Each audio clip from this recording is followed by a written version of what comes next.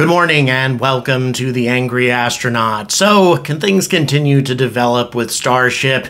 And as usual, we don't know what the hell is going on. There are so many conflicting reports right now. This is unlike any other launch in history. And this is very strange given the fact that we are talking about an historic event, the launch of the most powerful rocket in human history. I mean, why do we get so little information? Information about this. Wouldn't SpaceX want to make this event a big deal? Wouldn't they want to publicize it? Wouldn't they want people to come out in droves to see it? Well, apparently not. Currently, the FAA launch license still has not been issued, and in addition to that, SpaceX doesn't seem to have any sort of plans of making any sort of official event out of this. Instead, they're keeping everything very much under wraps. All of the FAA information indicates that Starship will be launching on the 10th or the 11th or 12th, maybe the 13th, something like that. However, there are no indications from the local authorities, that is to say, the people who close the road that this is going to be happening. Instead, those authorities are saying that these are non flight tests going on from the 10th through the 13th. So, what's the truth and why all the secrecy? Well, there is one possibility, and this is something that a number of people have been talking about lately. There are some very powerful and very potent opponents to Starship. Starship has some powerful enemies in the region, and they are mostly comprised of environmentalists. People who are concerned about the protected status of the region, of the endangered species who live in the area, and they've never wanted Starship to take off. And it's very possible that the moment that the FAA license is issued, the moment that we have anything official, the Sierra Club and others may issue some sort of challenge in court. And the strategy of keeping this whole thing under wraps until the last possible moment might be a way of sabotaging their efforts. How is this the case? We're going to find out in just a moment. Oh, and real quick, please subscribe. I know I've passed that 100,000 subscriber milestone, but this state of growth has been fantastic. Thank you so much for all of this. By the way, I have the final episodes of my 100K celebration coming up this weekend. I hope you guys have enjoyed all of these episodes. And also, please consider supporting my content. I am, of course, traveling to Boca Chica and Colorado Springs this month in order to cover a lot of stuff. Thanks so much much for making all of this possible, and any support would very much be appreciated, especially if I have to stay in Boca longer. Let's get on to what's happening with Starship. Oh, and by the way, one of my viewers up in the Northeast, the fellow that's making all of my travel possible, he mentioned that even though I've been wrong about a lot of things with this, I was actually right in predicting when the static fire was going to take place with Starship, so at least I'm right about a couple of things, but in any event, none of that really matters right now. What matters is the fact that we are days away, or at most a couple of weeks away from the first launch of Starship assuming nothing goes wrong, assuming nobody stands in the way of this process. Once again, keep in mind the launch license has still not been issued. There was every reason to believe that the launch license is going to be issued on schedule given what SpaceX is doing right now, but there are complications that could really present a problem, not least of which are the environmental organizations in this region who have launched one legal challenge after another to Starship and are likely poised to give this one last shot the moment the FAA releases the launch license. Why would they wait for that kind of timing? Well, because the FAA required a large number of environmental initiatives to be undertaken by SpaceX before they would give them clearance to launch. Now, not all of those initiatives need to be completed prior to a launch, but some of them even require that a local biologist or somebody somebody along those lines approve the launch before it even takes place, that they consult with somebody who's an expert in the environmental concerns of this region, with the endangered species, the timing of the launch, that sort of thing, before they can even approve said launch. Now, if all of these things haven't been done when the FAA issues the launch license, it's very possible that the Sierra Club and others could argue that SpaceX has not yet lived up to their obligations. Let me give you an example of some of the requirements here. Quote, SpaceX will continue contracting a qualified biologist to conduct pre, during, and post construction biological monitoring for vegetation and birds. This monitoring is ongoing and will continue to be conducted within three miles of construction areas. Monitoring reports will continue to be sent to the U.S. Fish and Wildlife Service annually. SpaceX will initiate coordination with the U.S. Fish and Wildlife Service within 60 days of the start of construction under the proposed action to identify practicable opportunities to protect,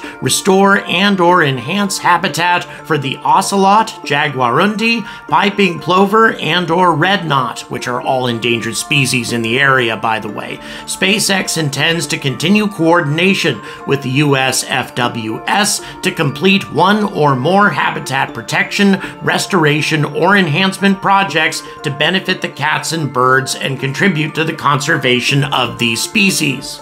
SpaceX will continue contracting a qualified biologist to conduct pre and post launch biological monitoring for vegetation and birds. Monitoring will be conducted within one mile of the VLA up to a week before a Starship or Super Heavy launch and the day after a launch. Monitoring reports will be sent to the U.S. Fish and Wildlife Service within two weeks following completion and analysis of the data. So, if a launch were to take place on April 10th, for example, it would mean that whoever this biologist is would have had to have already conducted their monitoring and would be in the process of compiling their report to send to the US FWS. Is that happening right now? Well, if it was, I would say there's a good chance that the Sierra Club would know about it. And if it hasn't happened, that alone could be a reason for the Sierra Club to file an injunction. Or if any of the rest of this stuff hasn't been done yet. The FAA may not be all that concerned about getting all of this stuff implemented prior to the first launch, but the Sierra Club could argue that it has to be completed before SpaceX can launch anything from Boca Chica, especially a full stack and a judge might very well agree with this. So, how does SpaceX deal with this problem? By waiting until the last possible moment to receive the FAA launch license. For example, on Friday at 5:15 p.m., when the Sierra Club can't find a judge to issue an injunction against the launch and then press the button first thing Monday morning. Now, all of this may sound a bit outrageous, but what I find to be especially outrageous is the fact that a launch license still has not been issued, and we're talking about a launch only four or five days away right now. That is almost unprecedented. Yes, with previous launches going up to 10,000 meters or whatever, SpaceX didn't give a whole lot of notice, but this is something else entirely. This is a full stack flying out over the Gulf Gulf of Mexico and interdicting lots of high altitude air traffic. That's something that you want to provide at least some notice about. Now, this region isn't an incredibly active air corridor, but nevertheless, usually the FAA wants to give a lot of advance notice about these things. Why wouldn't they do it? Well, I think this is very possibly one of the reasons, but there is another possible reason. It could be that SpaceX and the FAA